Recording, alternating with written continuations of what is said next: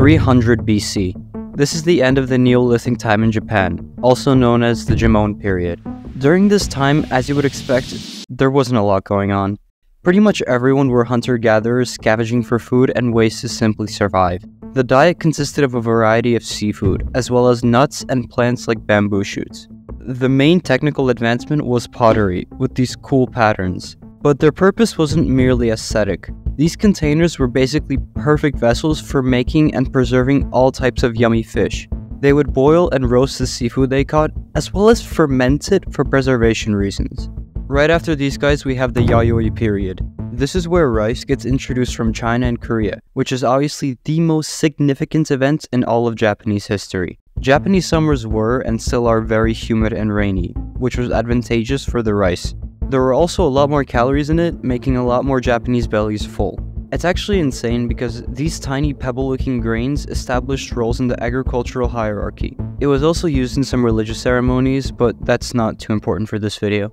This kind of rice renaissance period ended around 250 AD or the 3rd century, and following it we have the Kofun period. At this point, rice is a classic, it's a staple. Everyone knows it, everyone loves it, that's confirmed.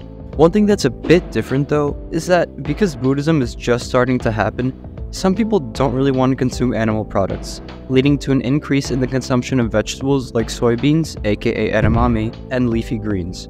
Around the mid 6th century though, this period ends and we go into the Nara period. This is around the time when Buddhism has just peaked, making a lot of people become vegan and reject their carnivorous desires. As for beverages, green tea starts becoming a thing too, and sake is widely consumed.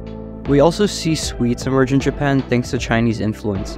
Manju, aka steamed dough, and senbei, aka rice crackers, were delicious sweets originating around this time that are still enjoyed to this day. People also recognized that there were regional ingredients that were just better in some areas. And as a result, you would see ingredients from various different places all incorporated into one dish. Another few hundred years passes and we enter the 8th century, labeled the Heian period. This is where stuff gets kinda interesting. Well, for me at least. Anyways, we got miso, we got soy sauce, we got tofu, and we have grilling. These are the modern staples of Japanese cooking. The rich people ate deer because they were very extra for no reason, but the normal citizen liked himself some grilled fish with simmered vegetables. The Heian period is also the time when people wanted to make their food look good, so presentation was actually important. Matcha also gets introduced, in addition to an early version of the well-known Japanese tea ceremony. Moving on, we have the Kamakura and the Muromachi periods. Once again, thanks to China, we now have bread and some other sweet stuff. We also have a soup made from mashed soybeans that the samurais apparently had a blast with. Now we're gonna do a massive time skip of 500 years, where we arrive at the Edo period. Japan is basically blowing up with everything at this point the economy, arts, social order, and there's a huge and thriving culture. Around this time, soba noodles are introduced, which, if you don't know, are basically just noodles that are made from buckwheat. We finally get sushi close to what we know it as today, which is just rice with vinegar and raw fish on top. We also get tempura, which, if you don't know, fun fact, is actually by way of Portugal. It's not originally a Japanese dish. We also see street food absolutely popping off, so that's pretty cool.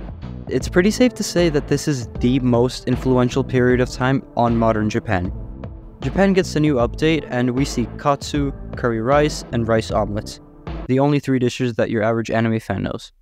At this point, Japanese food is already established, and all that happens now is slight changes over 200 more years to reach what we have today. Like and subscribe, see ya.